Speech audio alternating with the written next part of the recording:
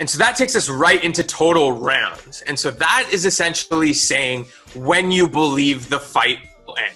So if we're looking specifically at Conor here, the over on his fight total rounds for one, for one and a half rounds is minus 150. So that is essentially saying it is very favored that it'll at least go to two and a half minutes of the second round right? And as the time goes on, you see two and a half gets into plus odds. Three and a half, now this is great odds, plus 200. That means it's very, very likely that this is not going to go the distance. Four and a half, even crazier.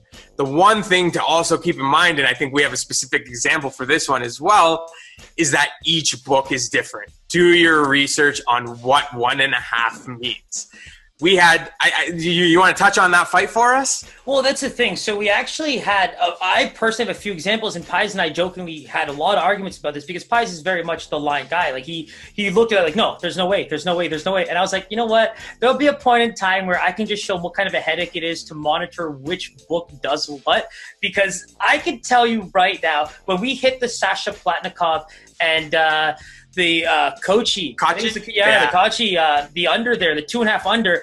Pies was actually at my house visiting, and funny enough, we're watching it, watching it. And I'm like, "Yo, Pies, like it's clearly over the time, right?" But he finished. And I'm like, "Watch, I'm pretty sure that we're gonna get a payoff for this one."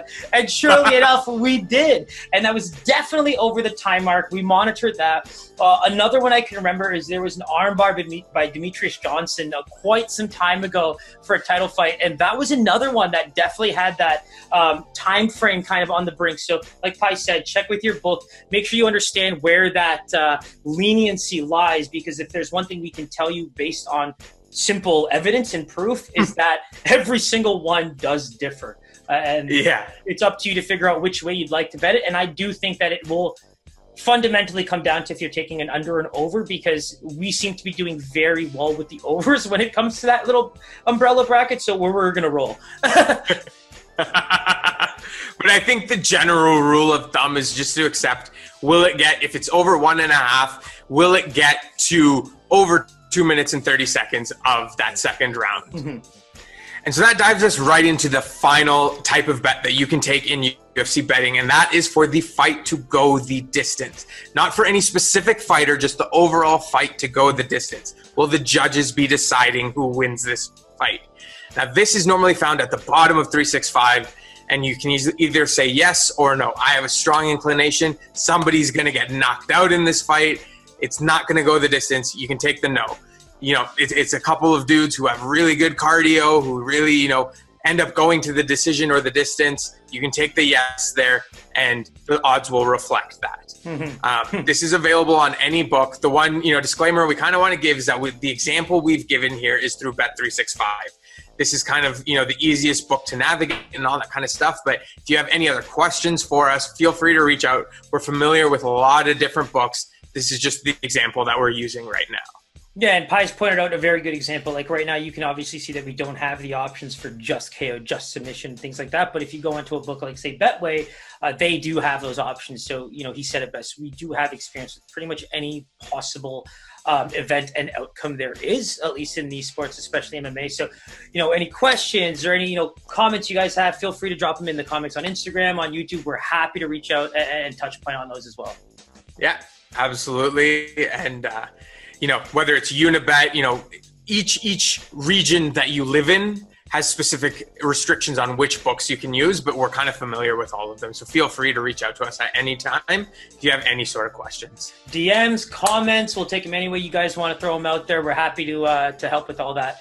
And I mean, you know, Pies basically broke down most of this card just looking at the uh, Poirier McGregor line, and he kind of said it best. You know, fight to go the distance. Make sure you're looking at the lines to reflect the value. You know, there's a reason why you're seeing this fight to go the distance at plus 275 for yes. Whereas, you know, if you had two flyweights who, who really just can eat a punch like crazy, and are really good at scrambles, you know, good chance that that's going to go five rounds, kind of similar to your Figueiredos and your Morenos. Well, then, you know, fight to go the distance is probably not going to be sitting at plus 275. and another thing to always just keep in mind is if it's a main event, a championship fight, any of that stuff, it's going to be a five round fight. So that should factor in your decision making for the fight to go to the distance. It's a lot easier to go the distance on a three round fight than it is a five round fight. And don't worry, books aren't going to try and trick you and only leave up five options there so in case it's a three round fight. You know, they don't need to do that. They're winning enough money as it is. Very well said. So good luck to all you guys. Any questions, let us know. But let's get that paper and like, subscribe, share. We'd appreciate all the support there is. You know, we appreciate the support there's been so far. Thank you, Justin James, again for hopping on our first little sit down fighter sit down segment. Looking forward to uh, connect with a few other fighters down the line. So all these things are starting to really ramp up for us. And you know, the next card's not till January 16th. So you know what? Keep an eye out for us because we got some things brewing. My man. Always a pleasure, my boy. Way to uh, sell this MMA world to the uh, betting fanatics of, of, of, the sports universe. And you know what? Let's go get it. My pleasure. Always, the only, always the only to way to beat Vegas is more heads than one. Peace.